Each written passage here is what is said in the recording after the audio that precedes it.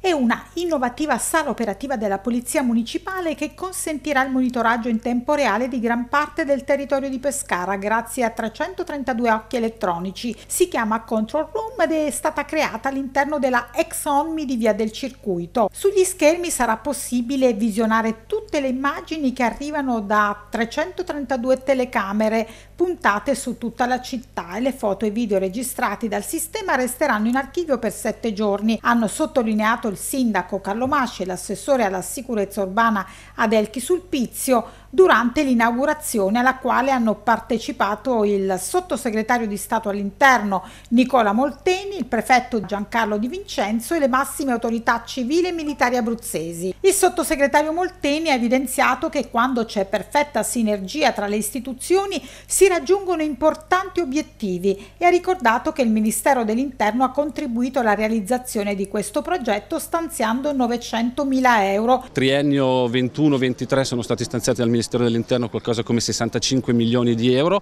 proprio per aiutare le amministrazioni locali e i sindaci ad essere co-protagonisti della sicurezza dei propri territori, quindi oggi inauguriamo un modello assolutamente virtuoso di efficienza, di operatività da parte dell'ente locale sul tema della, della sicurezza urbana. Mi fa veramente piacere che in questo investimento ci siano 900 mila euro investiti dal Ministero dell'Interno perché c'è una progettualità che parte dal 2017, Ministro Minniti, continua nel 2018, Ministro Salvini e prosegue oggi con il Ministro Lamorgese per garantire e investire in sicurezza locale proprio perché i bisogni e le esigenze dei cittadini chiedono questo. L'utilizzo degli impianti è finalizzato all'attività di prevenzione, indagine indagini, accertamenti di atti illeciti e a prevenire fenomeni di degrado come la presenza di discariche abusive, tutelare ordine e decoro e monitorare viabilità, traffico e verificare il sistema degli impianti semaforici ha spiegato l'assessore Sulpizio. Questo impianto di videosorveglianza, che lo possiamo dire ad alta voce, è il più avanzato tecnologicamente d'Italia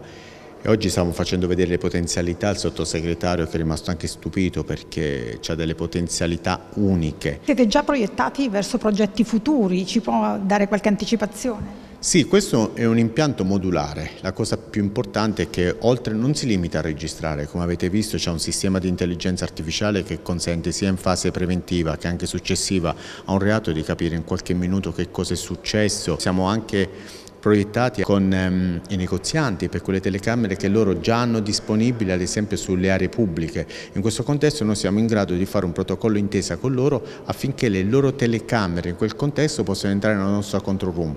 Per noi significa non dover provvedere alla manutenzione, alla pulizia di una telecamera, alle spese per l'installazione, ma allo stesso tempo ci consente di avere anche ulteriori controlli in determinate zone.